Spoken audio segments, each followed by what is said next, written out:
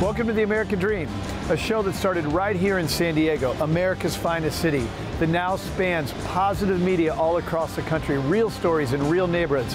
Hi, I'm your host, Craig Sewing, and here's the American Dream.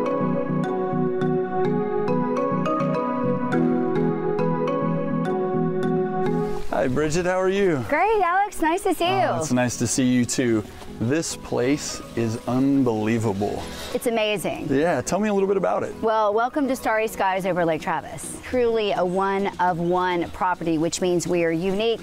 We're sitting on one of the highest points on Lake Travis. I'm excited to go check it out. You ready? Let's do it. All right, let's follow go. Me. I will follow you.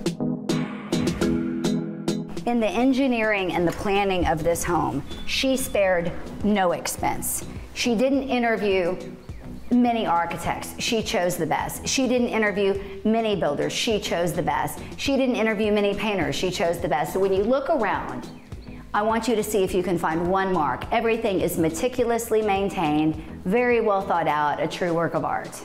I mean, when I'm here and I look out and I see this view, and I mean, you've got these doors that just open up, and your living room turns into your, it's just one big living area, inside, outside.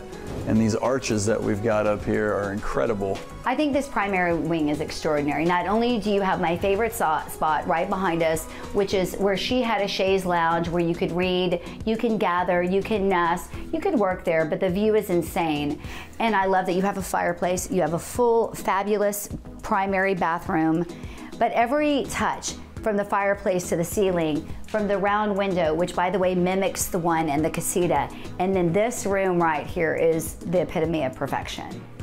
So each of these bedrooms has a great view.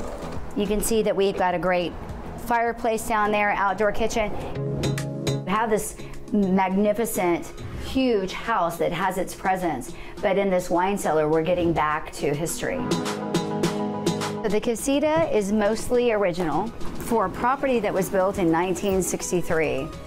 It is so charming oh, yeah. and about as pristine as a home of this age could be.